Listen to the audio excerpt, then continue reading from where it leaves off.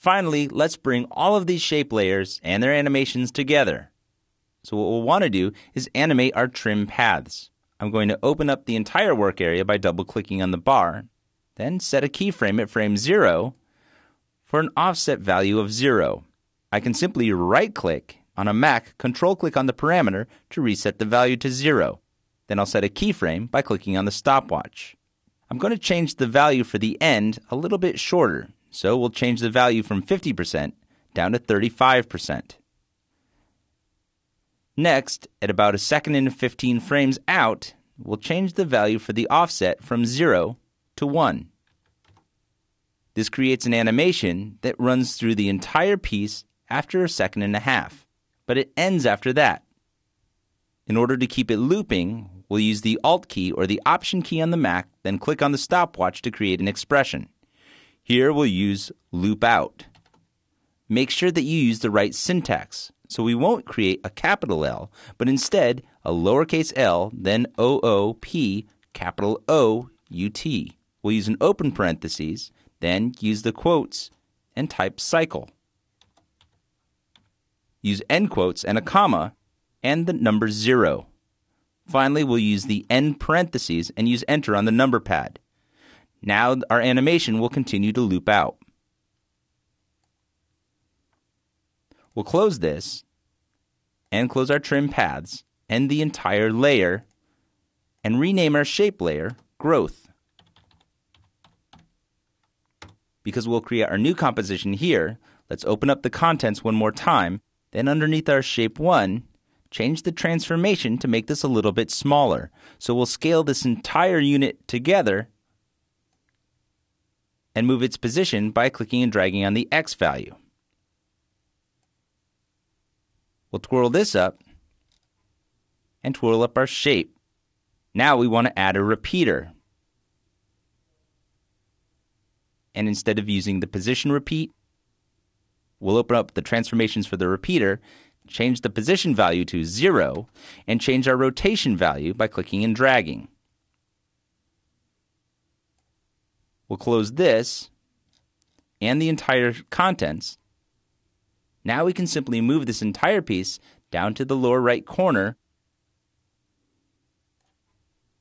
And then with the selection tool still, I'll click and drag to make this a little bit larger. Now this animation occurs in the corner, and we can add the other parts of our scene. Here under comp number 4, we have our kelp. Kelp's fine, except the stroke should probably be a different color. So I'll change the color here to a nice dark green.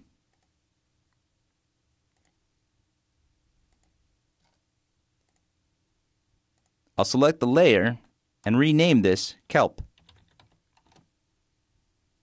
With the layer selected, I'll simply copy this, then move back over to comp number 5 and paste it we can see that the window is a little bit bigger in this comp than it was in the previous comp. So I'll use Alt or Option on the Mac with the forward slash button to make it fill the screen. I want more kelp in the scene, so I'll open up the parameters and add a repeater. In addition to my repeater, I'll go to the transformations, and rather than just having it move, I'll also have it scale as it grows.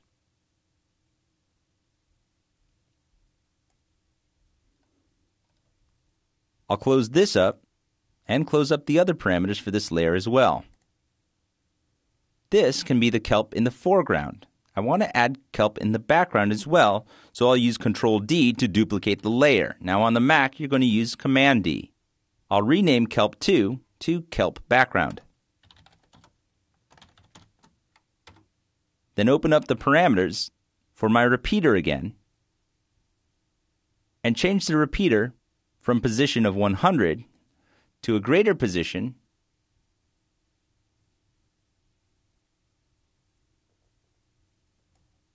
and change the scale value to something a little bit smaller. But I need more of these that are closer together.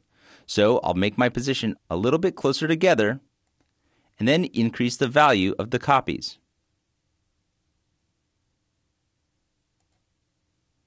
Then we'll move up to the top of the contents where we see how the shape is being applied. we'll change the value of the transfer mode for the shape to something else. Maybe we'll use screen. This way we can see all of the different repeated values for our background kelp. What we want to make sure to do is move our background kelp down to the background. Now with it down in the background, we'll add an effect. From the effect pull down window, a simple blur will do. We'll add a fast blur and change the value for the blurriness to 12. The last thing we want to do is introduce our little octopus. So here he is as we left him last. We'll take off the zigzag value and change the tentacle color on stroke 2 from red to pink. We can choose the same pink by using the eyedropper, then clicking inside the body. Next, we'll take a look at the keyframes that create the animation for the path. Because we can't create an expression to make these keyframes loop over time, what we'll want to do is grab the last two keyframes, then copy those into the buffer, then move down the timeline and paste them, and move down the timeline again and paste them. We can paste them randomly to change the speed of the animation over the course of our composition. When the last two are pasted, I'll simply click on them and drag the last keyframe to the end of the composition. I'll twirl this up and the entire group, then rename this layer Octopus. I'll copy this, then in my last composition, paste him. He's a little bit large, so all I need to do is scale him. I can use either scale or the entire group transformation. This object is a shape layer and will continuously rasterize, so regardless of whether he's 100%, 500%, or smaller, After Effects will continuously rasterize all of the pieces that make up this animation. I'll click and drag to make him a little bit smaller. Then I'll populate the scene with Octopus by adding another repeater here. Now remember, I can twirl this up, then twirl it back down again to use the add repeater, or I can go up to the toolbar and add a repeater here. Adding a repeater places it inside the layer that I have selected, and of course, the repeater is going to repeat 100 pixels across for three copies. I'll add many more copies. Let's start off with a value of 6. Then change our transformation for the repeater by increasing the value of the distance between each one. I'll also change the rotation value and change where the anchor point is on each repeated item.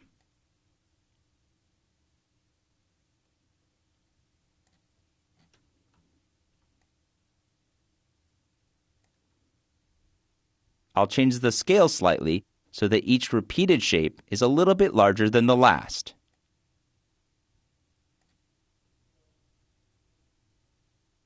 I'll scrub in the timeline to see each one of these squirming around. However, they're not moving.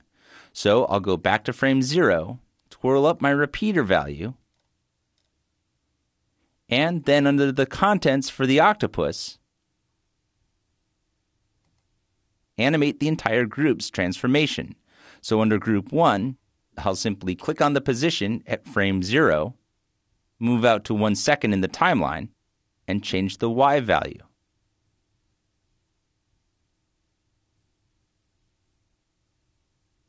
Eight frames later, I'll change the Y value again, making the octopus drop a little bit.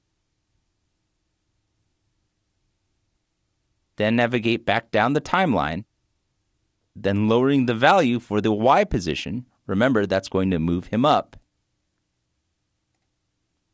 And again, a few frames later, drop him back down again.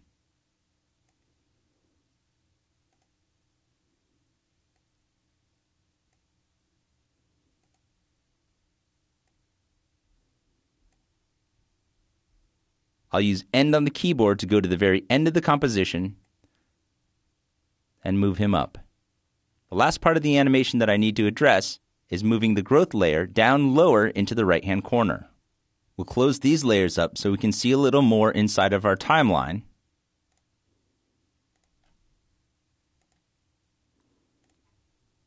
Then with our growth selected, move it down so that the edge occupies the bottom corner here By soloing it, we can take a look at what this animation looks like as it loops out.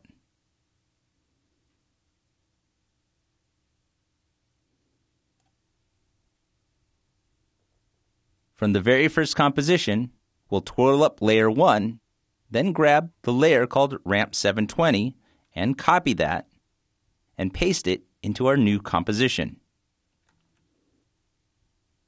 We'll move this solid down to the bottom then with the cursor hovered over the comp window, use the tilde key to bring this to full screen. We'll use 0 on the number pad to create a quick RAM preview.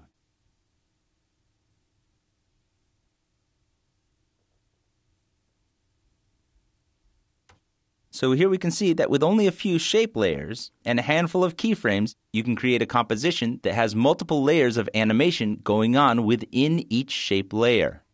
Because all of these shape layers are vector based, we can zoom in to our heart's content while always maintaining a nice clean image.